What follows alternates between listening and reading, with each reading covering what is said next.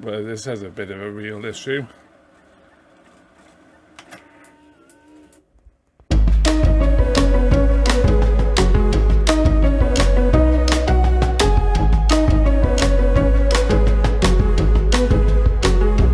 Hello and welcome to another Mr. Betabyte video and this one's a little bit different insofar as we're looking at this uh, Toshiba V9600 um, I do like these machines and this one actually has found a new home. Uh, it's pretty much immaculate. It's, it's, a really lovely machine.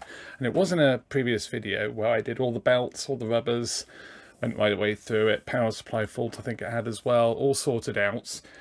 Um, but we do have an issue with it. Um, it's something I cover, covered in the um, Toshiba V33 uh, video uh, not too long ago and I shall demonstrate what the issue is. Tape's a bit funny.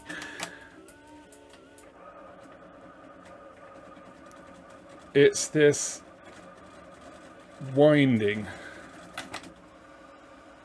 Um, and with use, it does improve, but then you leave it overnight and it's it's back to its old tricks again. So um, in this video, we're going to look at why that happens and the fix, basically.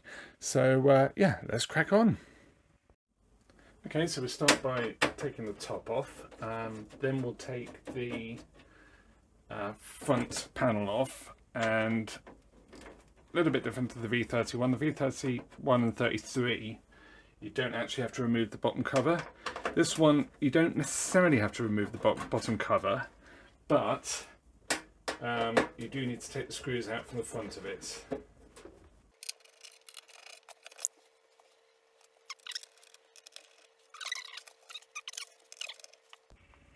So this one here and this one here and that should allow us uh, putting up this tab here and then there's two tabs on the side which you sort of push in. Uh, that one's not actually in on this side. And then we should be able to just pull it forward and it will pop out. So I think in theory you're supposed to be able to do it without releasing those two screws, but in practice I've found it's it's ugly with the plastics. Okay, so next is to remove the front loading system. Uh, can't really see this very well, but there's four screws. Uh, one here, uh, one through, you access this hole here, you need a, a pretty long screwdriver to get to that. Same on this side, and then one here. So just do that.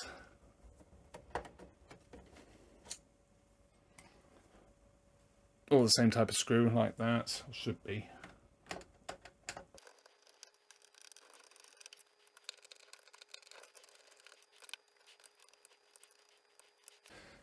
Okay, and then what we're going to do is get something just to insulate electrically the front loading system from the rest of the electronics. Um, we're going to swing this round. It's a connector here. This is for the tape in.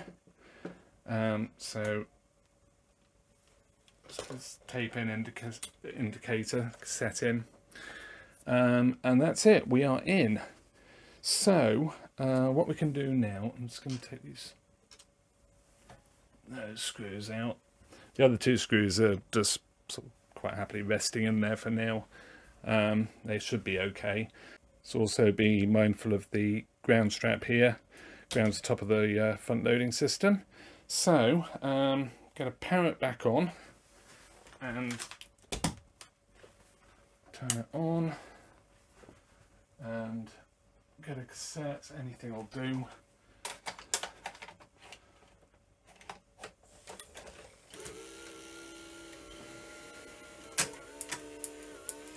Like so. Um, so, let's just give this a go. So, fast forward. I mean, it's... Yeah, I mean, it's it's actually not too bad. And to be fair, with use it is improving.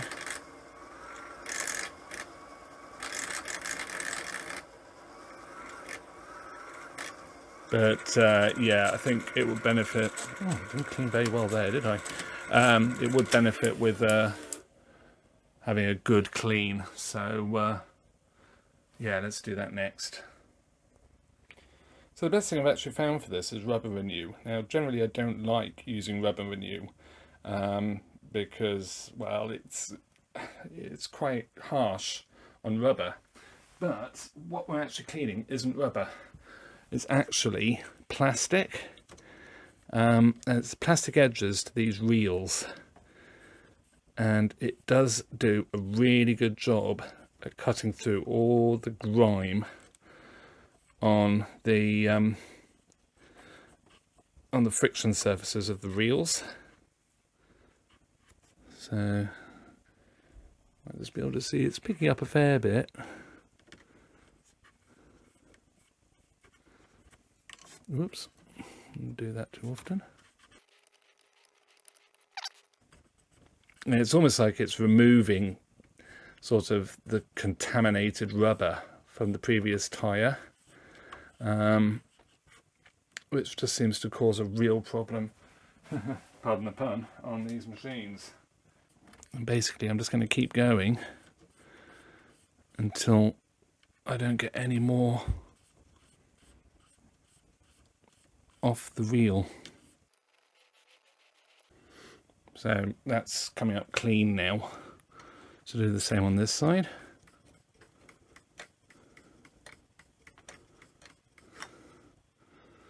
And the rewind doesn't seem quite so bad. But it does take a little while to really start to break down the contamination on there. So don't just give it a quick wipe and think, oh yeah, it's fine. You have to almost let it soak. Um, just keep going. See, that's starting to really pull off the rubbish now. And I think that's the secret. I mean, you can use isopropyl. Um, you even remove them and give them a jolly good clean out of the uh, deck. Not a bad idea but um, I've just found Rubber Renue just keep persevering because it's taking the rubber out of the friction material um, on the, the plastic wheel.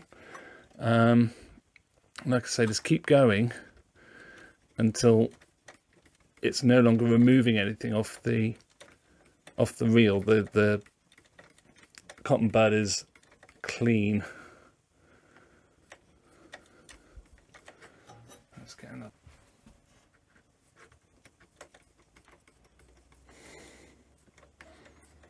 Yeah, more's coming off.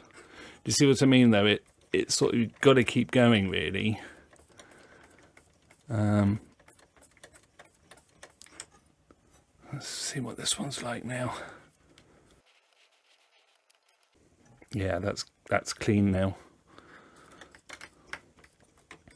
So it just persevere with it. You know, even once it's clean, just leave it for a minute or two and then give it another go and if it's clean after that then you know you're good but you just have to keep going there we go perfect right um, I'm going to leave that for 10 minutes now just to make sure that all the Rubber Renue has evaporated away and uh, we'll give it a go so it's been a couple of hours. Uh, let's give it a try. That's so much better. Look at that. I can make it.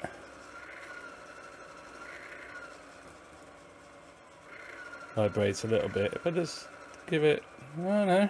That's perfect.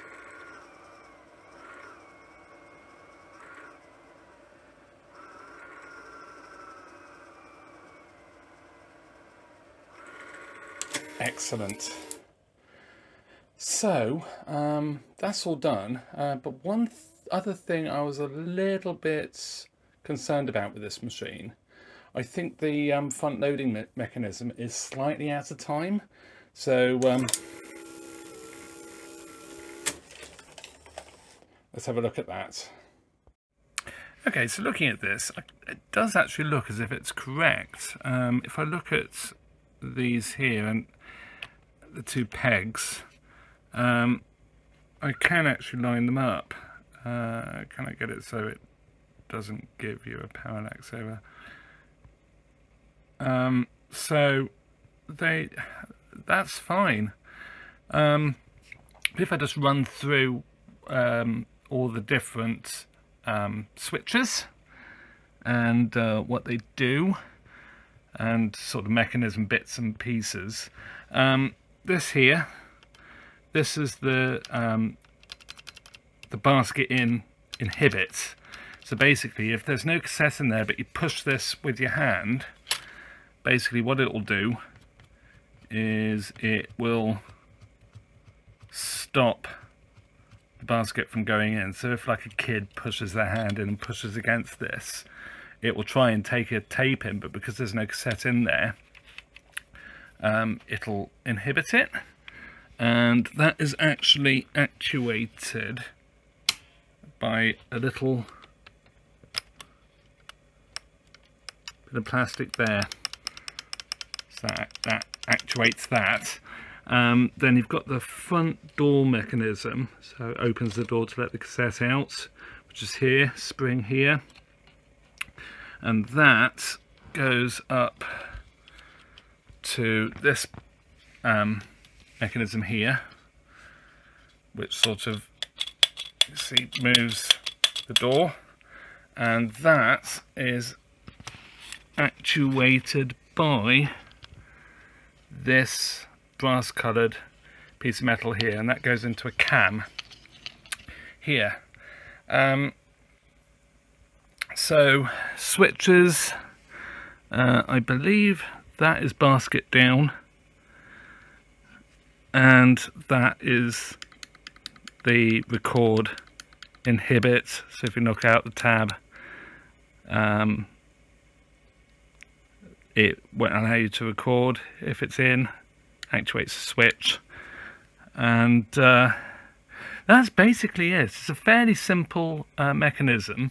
If you lock this so it doesn't catch and then you put um, voltage on the motor it will actually run. You can actually use a PP3 so uh, I'll just demonstrate that for you now. Okay so here it goes. Um, I will say with the um, the pushing this in inhibitor, there's one on this side as well. And all I've done to disengage them is just remove the spring.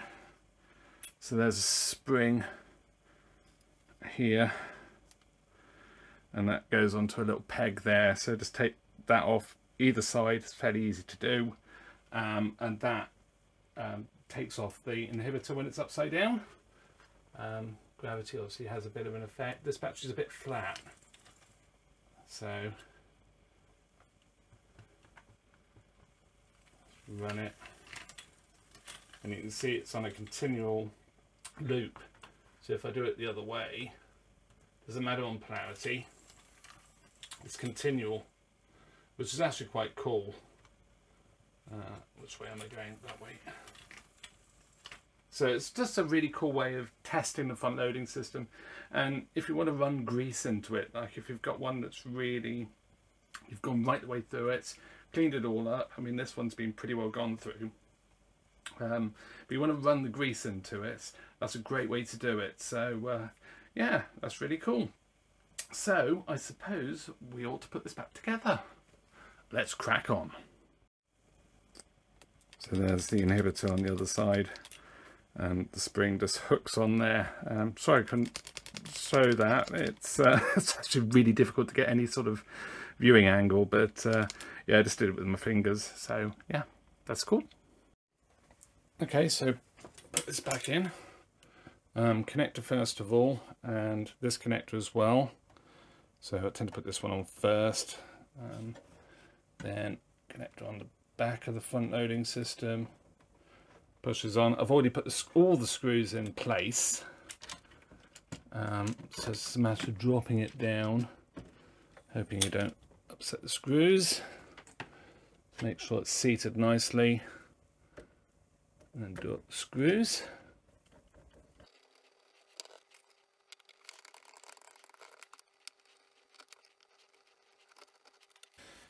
And there we have it, all back in place. Um, losing my voice. okay, so let's give it a try. Um, and for those who like to hear and see sort of the, the loading and working of a machine, here we go.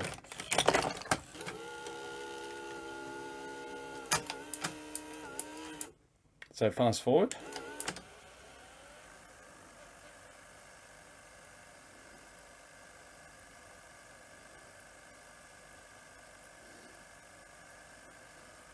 and rewind.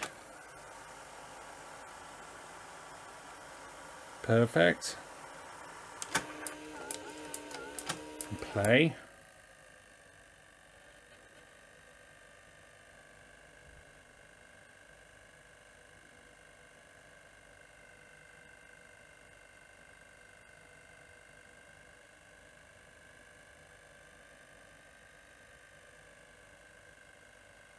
So that's great. Uh, don't mind the speed of the heads. Um, it's to do with frame rate. Looks as if they're running a lot slower than they actually are. But uh, yeah, that's that's really good. Um, so I suppose I ought to get the front panel on and um, we'll give it a test. Oh, let's eject the cassette. Lovely. Okay, so front panel back on.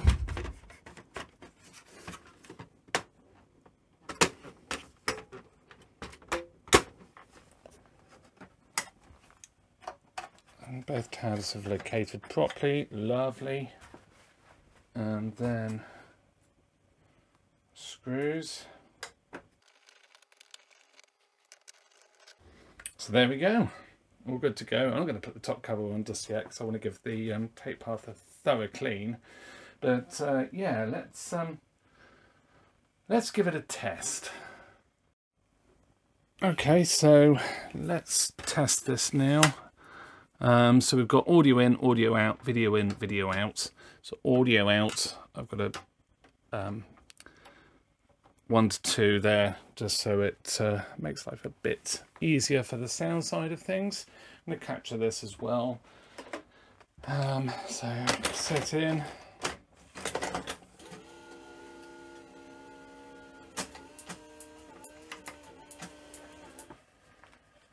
No idea what's on this cassette.